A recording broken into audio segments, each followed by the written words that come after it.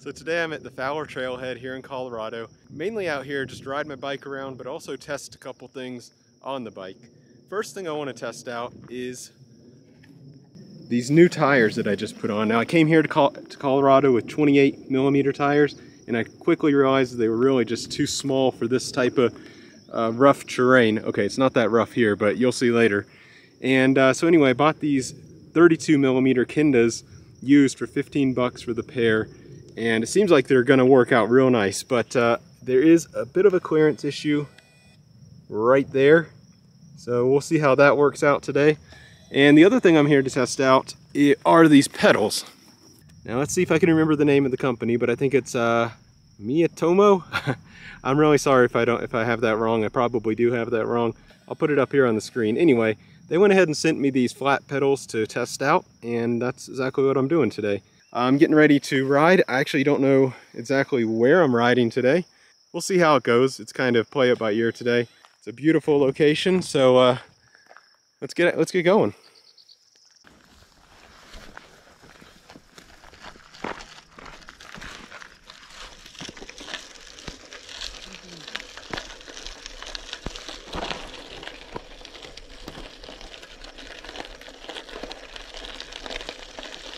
Well, this is a beautiful place to ride your bike or hike, that's for sure.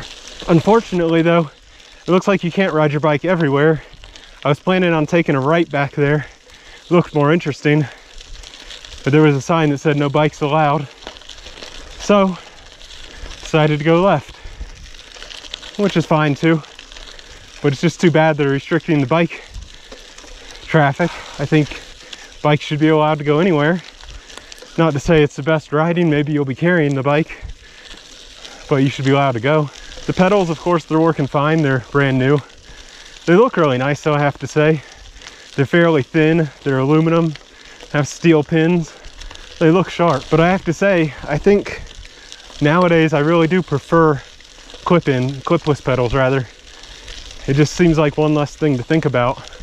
Your feet moving around and such. Oh, wow, there's a deer. This will be a good time to stop, show you where I'm at. It's just laying down here in the grass.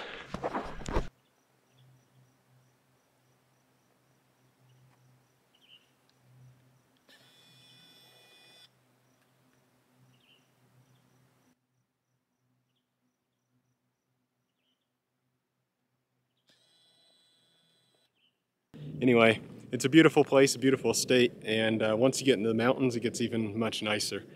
So uh, anyway, I've only been riding for like 30 minutes, so let's keep going.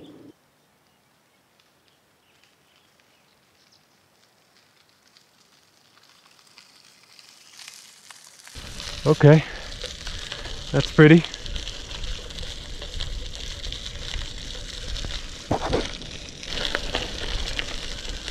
Ah, uh, see, this is sad. No bikes. Hey there. Good. Did I mention, by the way, these wheels are only about 14.7 millimeters inner width, and we're running 32 millimeter tires, so that is over the recommended amount, width rather.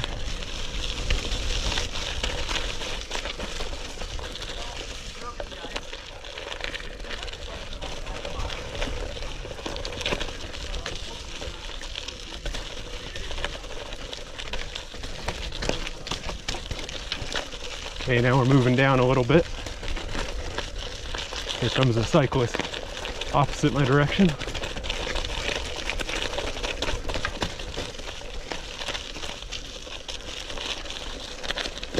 How you doing? Good.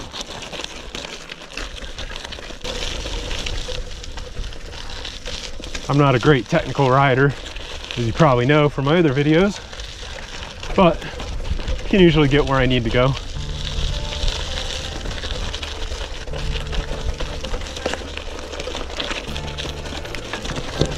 Whoa.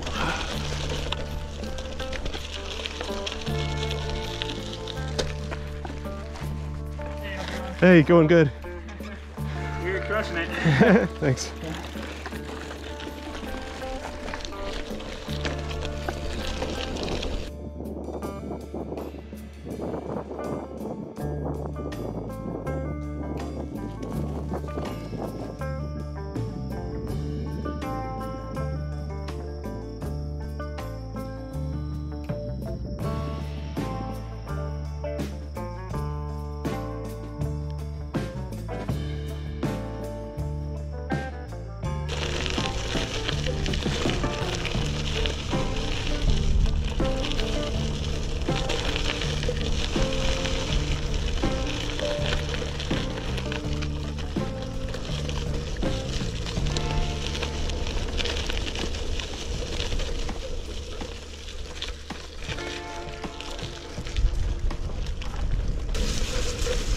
I've only had these tires on for like two days, so I'm, I, you know, I'm just hoping they hold air correctly and everything.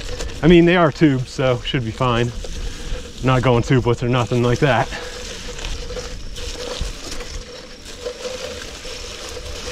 Yeah, they don't really like riding on all this mud. Ooh, I hear some sound now. Hear that?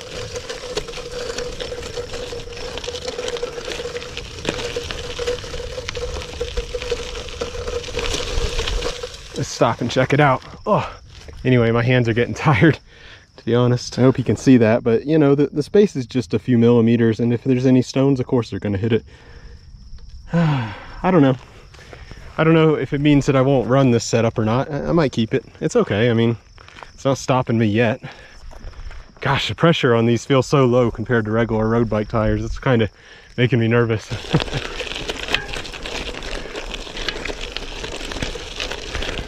Ooh, beautiful. Wow, so cool. We're kind of like up at a plateau here. Guys, look at this place. It's so beautiful. I don't think I can I don't think I can show it really correctly just with the camera, but wow, this is a super nice place. Beautiful mountains. And I think this this mountain here, this kind of face of a mountain is kind of famous here in Colorado. I don't remember what it's called, but I think it's very visible from Boulder. Not sure about that, but I think so. Oh, okay, let's get back to riding. It is 5.30 right now. So uh, I need to be back down in the car by about 6 o'clock, and I don't even know where I'm at, so I better get going. All right, I'm getting close to the end of the trail, so I thought I'd go ahead and stop and let you guys know how everything's going, how it went, and to answer the question, are these pedals any good? And can you fit big fat 32 millimeter tires on old skinny road frames, old skinny wheels, and old skinny road brake calipers? That's the question. So, first on the pedals you know, I don't have a lot to say about them. They're comfortable, they work, um, they work fine, they work good. Bearings seem nice, they seem solid, they seem well built. Uh, you know, they're, they're good, they're good pedals, and especially for the price. Honestly, I don't want to say the price because I don't remember it off the top of my head, but it was very low. They're on Amazon. I'll put a link in the description below. There's like zero play, absolutely zero play in them. They spin freely, they work good. You know, not much to say about that. I think the real question is actually how long will they last? So I will up, make updates in the description below, even if it's a year, two years down the road, and I have any problems, I'll go ahead and update you guys down below in the description, so look out for that. The next question is these tires. So for me, the big story was, is are they gonna make clearance with that brake caliper? Primarily the rear one. Now the front one seems for some reason to have plenty of space, but that rear one is super tight. And how would these tires do on this narrow rim? A rim that they're not really even made to be on. So they're really pushing the recommendation to the limit and even a little bit beyond. Um, but they're actually working okay. Like I said, I think I'm only at just over 60 PSI and it felt to me like I was getting pinch flats, but it never, never actually pinch flatted. So uh, all in all, I mean, I've been riding for like an hour. I haven't had any trouble. I never had to stop and clear anything. I haven't had any pinch flats, even though I have inner tubes and relatively, in my opinion, low pressure.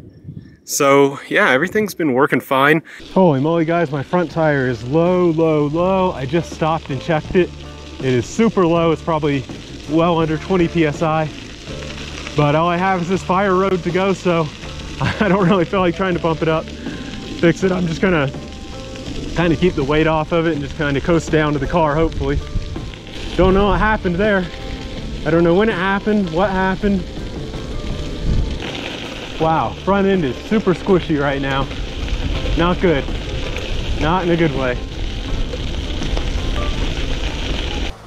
Wow, I don't know what happened, but check this out. Look at that. There's not much air left in there. yeah, wow. That was scary. Glad I made it though. Didn't have to stop. Rear is still fine. Wheel is hot. All right, guys, I think it's about it for this ride. Thanks everybody for watching and uh, please leave a comment, like, subscribe, all that stuff. See you guys next time. Bye.